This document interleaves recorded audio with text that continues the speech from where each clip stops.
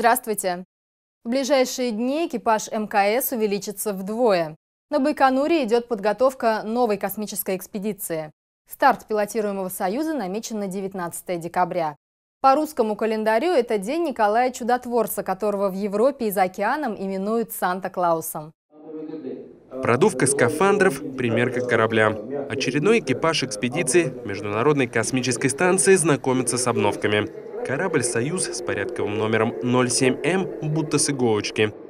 На нем россиянину Роману Романенко, американцу Томасу Машберну и канадцу Крису Хатфилду на днях предстоит стартовать с российского космодрома Байконур. Последний, или, как говорят сами космонавты, крайний пилотируемый запуск в этом году. Бой курантов они услышат уже на орбите. Мы знаем, что у нас будет э, ближайших три праздника. Это Рождество, потом Новый год, потом еще одно Рождество. Э, вот, потом еще несколько праздников, поэтому у нас есть время для того, чтобы подумать, как мы, его будем, как мы их будем отмечать. Экипажу под командованием Романа Романенко предстоит встретить несколько космических грузовиков с новым оборудованием, американские космические корабли, совершить два выхода в открытый космос – и, как обычно, множество научных экспериментов, почти полторы сотни на троих. Однако сначала экипаж встретит дату 21 декабря. День, который с опаской ожидают на Земле, космонавты проведут на орбите. Прибытие к МКС как раз запланировано на конец света по календарю мая. Но покорители Вселенной об апокалипсисе даже не задумываются. Тем более, что 21 декабря произойдет юбилейная 150-я стыковка корабля «Союз» с орбитальной станцией. Что говорят по поводу конца света в Америке или в Канаде? Конца света? Да. 21 December. О, извините. О, конца мира. Света конца мира, да. да. Будет интересно, что у нас будет стыковка во время последний день в мире. Это интересно. Мы, мы только будем э, что, наблюдатели в космосе. Да. Интересная перспектива у нас будет. Если же представить, что вопреки прогнозам ученых конец света состоится, то экипаж МКС станет последними землянами. К счастью, это лишь фантазия.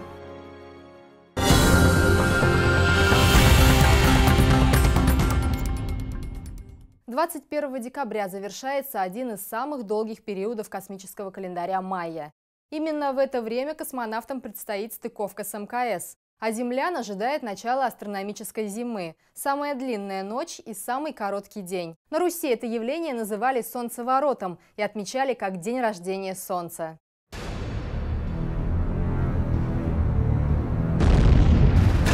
Огромный протуберанец отделился от Солнца и направился прямо к Земле. Ломаются все энергосистемы, планету накрывает тьма и хаос. Именно такой сценарий апокалипсиса человечеству предрекали осенью этого года. 21 сентября и 21 марта – это особые дни календаря.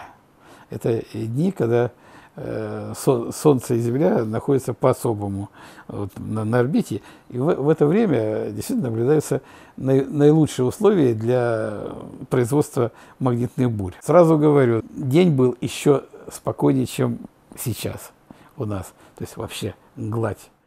По сути, наша Земля расположена рядом с огромным ядерным реактором. Каждую секунду Солнце извергает 4 миллиона тонн заряженного вещества – Солнце дает нашей планете жизнь, но и неприятные сюрпризы звезда может тоже преподнести. Мощные вспышки способны вывести из строя спутники, нарушить связь, но не более того. Из больших событий вот на нашем веку, это 2003 год, была тоже большая, вспышки были большие и так далее. Но в это время даже запускали спутники. Между двумя вспышками э, Роскосмос запускал э, спутник, этот самый военный, я помню, и нормально, ничего, все, все, все сработало. По календарю мая 21 декабря завершается одна эпоха и начинается другая. Но человечество не погибнет от Солнца, уверяют специалисты. Хотя сейчас звезда и переживает активный период, она спокойна. У нас есть возможность заглянуть и в будущее. И в частности, вот если посмотреть, то где-то вот в районе как раз обсуждаемого конца света вот Солнце будет вот таким – это очень спокойная погода. Более правдоподобен сценарий глобальной катастрофы с участием астероида или кометы. В 1994 году весь мир наблюдал за падением на Юпитер кометы Шумейкеров-Леви.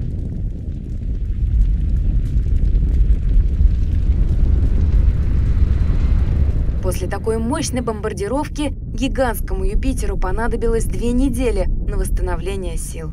Упади такая комета на Землю, трагедии не миновать. Образовался бы кратер огромного размера, кратер ну, порядка 100 километров.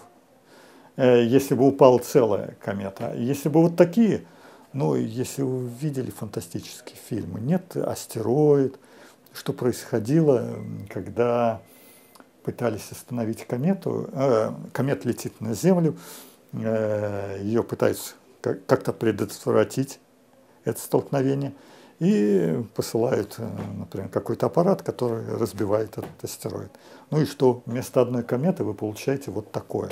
Это значит, по огромной поверхности идет бомбардировка, еще хуже, чем одна комета.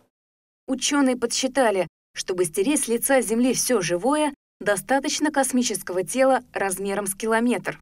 Такое количество пыли выбрасывается в атмосферу, что наступает ядерная зима. Подобные события в истории нашей планеты уже были. Они так и называются «Великие вымирания». Последнее случилось 65 миллионов лет назад. Астрофизики заверяют, современному миру не стоит опасаться астероидов-убийц. По крайней мере, в декабре этого года. Сейчас мы знаем почти обо всех астероидах околоземных крупнее, чем один километр. Таких тел уже, в принципе, не стоит опасаться. Они, большинство тел, почти 95% тел уже известно, для них посчитаны, э, определены хорошо орбиты, и они с Землей не столкнутся. Вот и получается, что гибель от смертоносного астероида тоже отменяется, и судьба динозавров нам не грозит. Хотя ряд ученых полагает, что этих царей природы погубило вовсе не космическое тело, а обычные законы мироздания. К тому моменту, когда вот этот крупный астероид действительно имел место быть, упал к этому моменту, почти все динозавры уже вымерли. И они начали вымирать, э, по крайней мере, ну так довольно интенсивно, по крайней мере, миллионов за 10 до того, как случилось это событие. Угроза из космоса пока гипотетическая. Скорее всего, опасность для всего живущего представляет сам человек, его эгоизм и по отношению к другим, и по отношению к природе. Но это вопрос уже не к науке и не к календарю мая.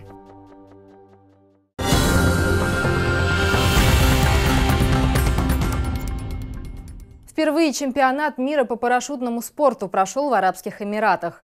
В Дубае собрались сотни покорителей неба, которые соревновались в точности приземления и в купольной акробатике. Парашютный спорт исторически связан с космонавтикой. Многие космонавты и астронавты начинали свой путь на орбиту именно под куполом парашюта.